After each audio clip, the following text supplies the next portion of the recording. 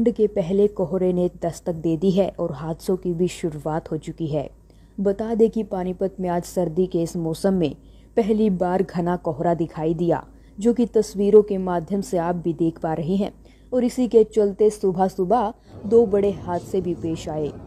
पहला हादसा GT road पर गाँव बडोली के पास से सामने आया, जहाँ धुंध के कारण बड़े वाहनों के टकराव के बीच बाइक सवार युवक की मौके पर ही दर्दनाक मौत हो गई। हादसे की सूचना पाकर सदर थाना पुलिस मौके पर पहुँची और डेड बॉडी को पानीपत के सरकारी अस्पताल ले जाया गया। मामले की जानकारी देते हुए एपीओ जुगमहिंदर ने बताया कि अतिरिक्त उपायुक्त कार्यालय में पीएन के पद पर कार्यरत विक्रम दत्त बस्ताड़ा गाँव से सुबह ड्यूटी पर आ रहे थे। रास्ते में इनके साथ यह हादसा पेश आया और मौके पर ही मौत हो गई। ऊपर के पास है पेप्सी की, वहाँ पर कोई धुंध के कारण एक्सीडेंट हो गया जी। ट्रक का काफ़ी ट्रक आपस में भिड़ गए हैं। उसके बीच में ये बाइक पैदा उस पर आ गई। हमारा विक्रम नाम था सेवेदार के पद पर था जी बस्ताड़ा गाँव से आ रहा था जी हाँ ए डी ऑफ़िस के बाद ए डी साहब के पीएन थे।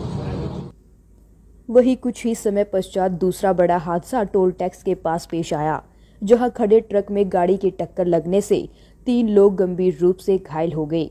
मौके पर पहुँची पुलिस ने घायलों को पानीपत के सिविल अस्पताल में भर्ती कराया। ये धुंध की वजह से हुआ हादसा धुंध ज़्यादा थी उसमें सामने एक ट्रक खराब खड़ा हुआ था।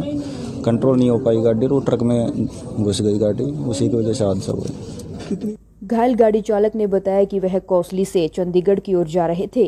गाड़ी असंतुलित होने के चलते ट्रक के नीचे जा घुसी। गनीमत तो यह रही कि दोनों हादसों में अन्य लोग बाल बाल बच गए नहीं तो इससे भी बड़ा कोई और हादसा पेश आ सकता था और कई लोगों की जान का नुकसान भी हो सकता था। इसलिए इस मौसम में सभी को सावधानी पूर्वक ड्राइव करना चाहिए। ब्यूरो रिपोर्ट, सिटी तहलका।